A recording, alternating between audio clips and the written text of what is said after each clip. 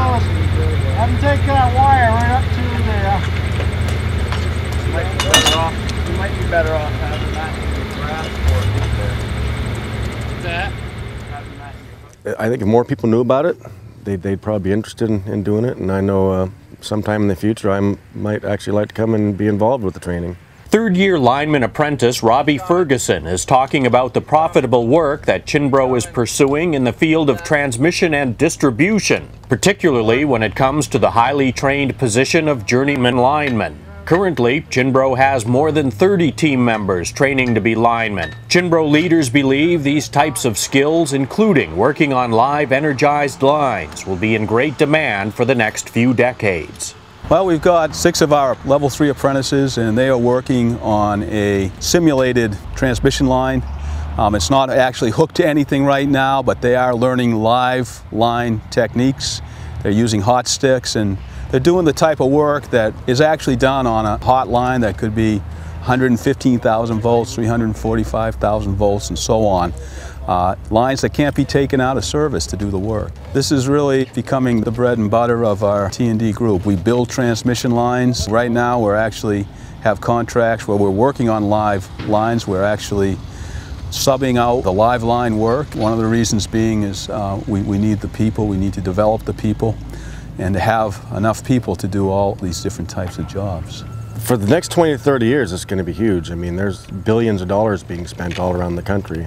But a lot of states like Maine have to upgrade their entire grid. So um, a lot, there's going to be a lot of work in Maine, a lot of work in Pennsylvania. Florida needs hundreds and hundreds of miles. So yeah, for the next foreseeable future, there's going to be a lot of work in it.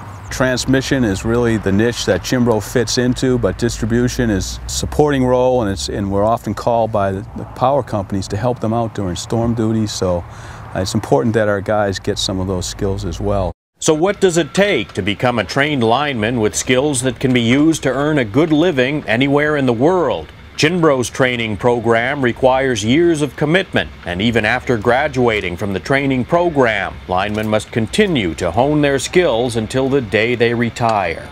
Journeyman lineman is actually a person that has to take responsibility not only for themselves, but really for the whole crew that is working under them in a situation like this where we may have high voltage. So to develop those skills, it takes four or five years minimal, and then those skills continue to develop through their career. So our program is it's a formal program that covers three years of the NCCER curriculum. We bring them into the yard for three weeks a year. We pay them to learn, and then they go out and work on crews, three one-week sessions. And then after that, they have to meet many competencies, which means we have to rotate them, we have to expose them to different kinds of work. But to be a, a journeyman lineman for these guys, uh, they're talking about four to five years just training to the point where we call them a lineman and then they have to continue to develop constantly. The emphasis on everything, I mean, whether you're sitting in a classroom or up on a pole or energized or de-energized, is on safety. Safety is the first part of every lesson. Every time you learn something new, what are the hazards associated with it? How can you mitigate those hazards? So I would say they've gone above and beyond. Bruce Chesley is our lead training coordinator and trainer, highly skilled and also used as a supervisor called upon for many of the challenging jobs. He definitely helps out in the field, but this is his primary thrust right now, and he has worked all aspect of transmission and distribution. He shares those skills with these guys. We also have people that are actually functioning at a foreman level. Maybe they're civil, uh, that's their strength, or equipment operators. They've gotten into our program, so they're apprentices while they're already running crews. Cianbro is looking to recruit lineman apprentices. It's an education that Cianbro will pay apprentices to complete. Well, the first step is we select out of our T&D groups, so um, expressing an interest to work in that group, get on to the group. The guys behind me, many of them came out of the civil trades, mechanical trades, got into working, putting up structures and so on and so forth, and said, I want to be a lineman got into our program and are now at the end of that program. First off, it's, it's interesting work. That's what first got me into it. I fell into it accidentally and then I liked it. And then I got sent back to Bridges and, and other civil work and I missed T&D so I wanted to come back to T&D.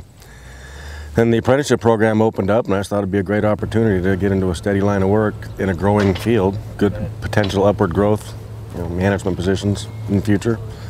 When I just turned 50, I can't I can't be climbing poles the rest of my life. So, so I've been doing it about seven years. Trainers and trainees alike say that the program is not exactly a piece of cake, but once the training is completed, the team member can expect some terrific earning potential for years to come.